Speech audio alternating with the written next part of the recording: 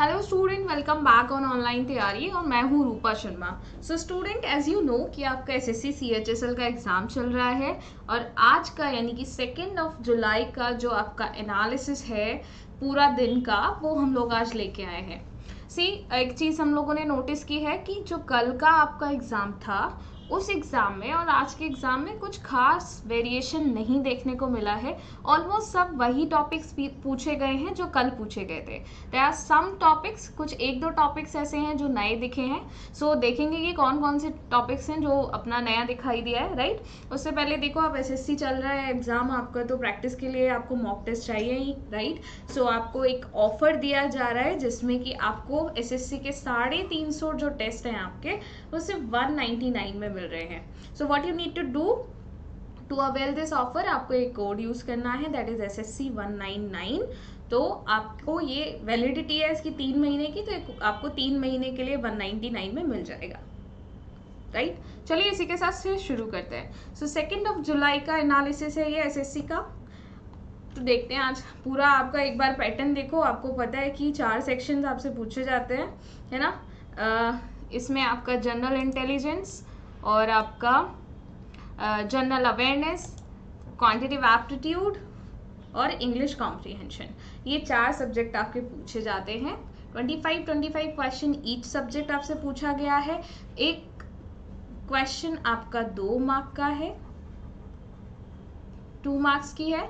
तो टोटल आपका देखा जाए तो एक सेक्शन 50 मार्क्स का हो गया. नेगेटिव मार्किंग आपकी हाफ़ है, यानी कि point five zero right so let's see अब गुड अटेम्प्ट की बात करें हम कि एक पर्टिकुलर सेक्शन में आपने अगर कितना अटेम्प्ट किया है so it is a good attempt so कल से कल हम लोग बात कर रहे थे तो कुछ 19 से 20 ही क्वेश्चन आपके ऐसे थे जो रीजनिंग में आप अटेम्प्ट कर सकते थे। बट देखो रीजन आप आज भी, कल भी हम लोगों ने देखा था कि इंग्लिश और आपका जो रीजनिंग का सेक्शन है, वो ज़्यादा डुएबल है इजी लेवल आया है, थोड़ा इजी टू मॉडरेट आप ज़्यादा से ज़्यादा यहाँ स्कोर कर सकते थे, है ना? तो 20 से 21 मैं मान के चल रही हूँ कि इतना आपका गुड अटेम्प्ट है राइट और स्टूडेंट से भी अगर हम देखें, उनसे भी जब सुन के पूरा अगर एवरेज निकालें तो ट्वेंटी टू ट्वेंटी वन आपका रीजनिंग का एक गुड स्कोर आप good attempt actually good attempt आपका माना गया है। इंग्लिश कॉम्प्रीहेंशन में भी एक बार फिर देख लेते हैं कि 18 से 20 के करीब आप क्वेश्चन अटेम्प्ट कर सकते थे, है ना? General awareness as it is moderate और क्वांटिटिव एप्टीट्यूड मॉडरेट लेवल देखा गया। आज भी और 15 से 17 और इसमें भी 15 से 18 के करीब जो अगर आप अटेम्प्ट करके आए हो तो it is a good attempt अगर ओवर ओवरऑल एग्ज़ाम की बात करें तो अड़सठ से पचहत्तर अगर क्वेश्चन आप करके आए हो तो आप बहुत ही सेफ़ जोन में हो आप बहुत अच्छा करके आए हो है ना? सो so, टेंशन लेने वाली कोई बात नहीं है। इसके साथ अब एक बार सेक्शनल देख लेते हैं। सो so, कल की तरह आज भी क्वांटिटिव एप्टीट्यूड सबसे पहले देखेंगे हम लोग। कल देखो रेशो का क्वेश्चन पूछा गया था। आज रेशो के क्वेश्चन एनालिसिस में नहीं मिले हैं कहीं भी। कोई स्टूडेंट्स ने किसी ने बताया नहीं है कि रेशो का कोई क्वेश्चन पूछा गया है। सो परसेंटेज आज रिप्लेस करिए कल परसेंटेज के क्वेश्चन नहीं बताए थे स्टूडेंट ने। तो परसेंटेज का क्वेश्चन आज देखा गया। एवरेज का एक क्वेश्चन मिला है आपका। नंबर सिस्टम से आपका एक क्वेश्चन पूछा गया है। सिंपल सिंप्लीफिकेशन से भी आपके एक से दो क्वेश्चन पूछे गए हैं। टाइम एंड वर्क में आपका एक क्वेश्चन मिला है स्पीड एंड डिस्टेंस का भी आपका एक क्वेश्चन है। सिंपल इंटरेस्ट और कंपाउंड इंटरेस्ट की बात करें तो भाई एक से दो क्वेश्चन आपका पूछा गया है। प्रॉफिट एंड लॉस आपका एक से दो क्वेश्चन पूछी गई है। एल्जेब्रा से तीन क्वेश्चन आपसे पूछे गए। ज्योमेट्री और टिग्नोमेट्री का देखो दो से तीन वेटेज रहा है कल की तरह ही। और मैंसुरेशन से आपसे तीन क्वेश्चन पूछे गए हैं। आज स्टूडेंट का कहना है कि मैंसुरेशन के क्वेश्चन थे ज़्यादा थे है ना? सो so, आपके तीन क्वेश्चन ऐसा माना गया। लेवल भी इनका मॉडरेट रहा है। देखो टॉपिक कौन कौन से मॉडरेट इजी टू मॉडरेट आ रहे हैं। ये तीन टॉपिक आपके इजी में चले गए, है ना? एक प्रॉफिट एंड लॉस वाला इजी में चला गया। दूसरा एक चीज़ है आपका इजी टू मॉडरेट देखो स्पीड एंड डिस्टेंस और परसेंटेज वाली कहानी हो गई आपकी। तो ये ये पूरा इजी टू मॉडरेट रहा है। मतलब थोड़ा आपको लगेगा कि कैलकुलेटिव है। स्टूडेंट्स का कहना है कि थोड़ा सा कैलकुलेटिव रहे कुछ टॉपिक्स सो आप एक बार यहाँ देखो, जो जो टॉपिक्स आपको दिख रहा है कि ईजी टू मॉडरेट है, वो आप ज़्यादा प्रैक्टिस कर लो। डीआई आपकी आई है है ना? तो डीआई में आप अच्छे से प्रैक्टिस करो ताकि आपका जो अपकमिंग एग्ज़ाम में अगर किसी का शिफ्ट एग्ज़ाम है अपकमिंग शिफ्ट में तो उसको वो चीज़ प्रॉब्लम आप ना महसूस करो जो आज स्टूडेंट ने करी है है ना? अगला सेक्शन देखते हैं जनरल इंटेलिजेंस और रीजनिंग की बात करें हम तो देखो एनालॉगी ऑड वन आउट और सीरीज़ ये टॉपिक एज इट इज़ कल की तरह है। आज एनालॉगी दो से तीन ऑड वन आउट भी दो से तीन क्वेश्चन आपने देखा होगा हमारे मॉक टेस्ट सीरीज़ में भी हम एनालॉगी और ऑड वन आउट की वेटेज यही रखते हैं। बिकॉज़ प्रीवियस ईयर में भी देखा गया है कि दो से तीन क्वेश्चन इन दोनों टॉपिक से पूछे ही जाते हैं इंडिविजुअली सीरीज़ के दो क्वेश्चन देखे गए। स्टेटमेंट एंड कंक्लूजन का भी एक क्वेश्चन आया था कल की तरह। Paper folding coding decoding mathematical operation counting figures blood relation और मिरर इमेज दूसरा वेन डायग्राम के दो क्वेश्चन आपसे पूछे गए और सिलॉग भी देखा गया है ना? सो so, ये आपका यहाँ पे इसका जो लेवल रखा है mathematical operation was easy one ठीक है?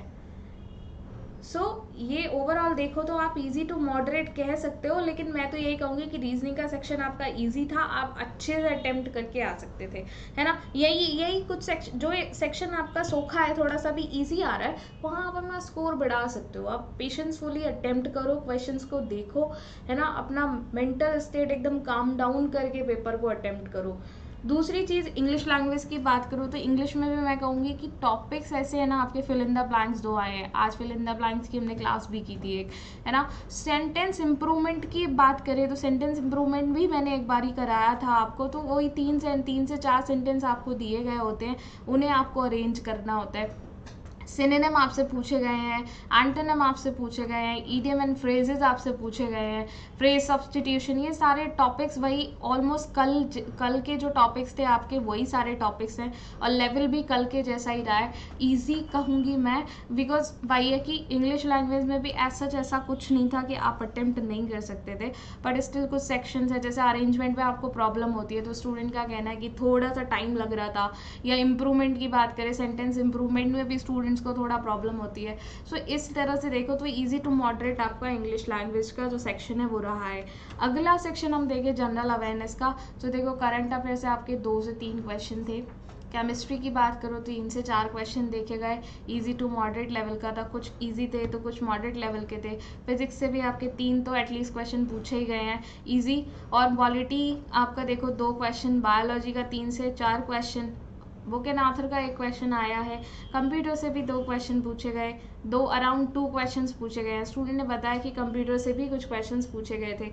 हिस्ट्री की बात करें तो दो से तीन क्वेश्चन आपके पूछे गए हैं। जोग्राफी से तो दो से तीन क्वेश्चन आपसे पूछे गए। सो so, ओवरऑल ये जो लेवल आपका रहा that was the moderate one यहाँ पे आप uh, कितना अराउंड आपका फिफ्टीन टू एटीन आप स्टूडेंट का कहना है अटेम्प्ट करके आए हैं।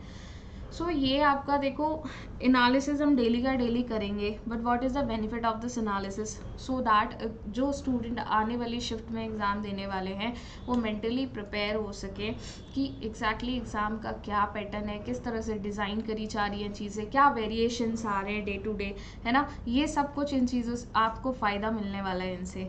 दूसरी चीज़ ये जो जनरल अवेयरनेस वाला सेक्शन है इसके क्वेश्चन हम फोर्टी क्वेश्चन आपको डेली के डेली प्रोवाइड करा रहे हैं। आ, ये तो आपका आर आर बी एन के लिए है। जो आपका फोर्टी क्वेश्चंस का निकाल रहे हैं हम लोग पीडीएफ और दूसरी चीज़, हम लोग डेली डिस्कस करेंगे एसएससी का जो अभी ये जो एग्ज़ाम जिसकी हम एनालिसिस कर रहे हैं एसएससी सीएचएसएल की, इसके जो डेली क्वेश्चन पूछे जाते हैं जनरल अवेयरनेस के, वो पूरा क्वेश्चन पूरा शिफ्ट का, सारे शिफ्ट का निकाल के हम लोग अगले दिन आपको प्रोवाइड कराएँगे पीडीएफ राइट सो बिल्कुल वो क्वेश्चन भी आप देखो, आज भी मैंने डिस्कस किया था तो जो जो स्टूडेंट ने वो सेशन अभी देखा है, उन्हें पता होगा। कि क्या बेनिफिट होने वाला है जनरल अवेयरनेस के क्वेश्चन से so if you also want to know that exactly what you are going to gain with that P D F और द वीडियो सो जाके वो वीडियो देखो देखो कि कौन कौन सी चीज़ें हैं जो मैंने आपको बताई हैं राइट right. इसके बाद में देखो आ, आपका मैथमेटिक्स का स्टूडेंट बोलते हैं कि हमारी मैथ्स कमज़ोर है या फिर हम लोगों के कॉन्सेप्ट बेटर क्लियर नहीं होते सो so, आप संजय सर का कोर्स ले सकते हो एसएससी का कोर्स है ये, फिर इसके लिए एनरोल करा सकते हो। सर को eight plus eight years plus का एक्सपीरियंस है।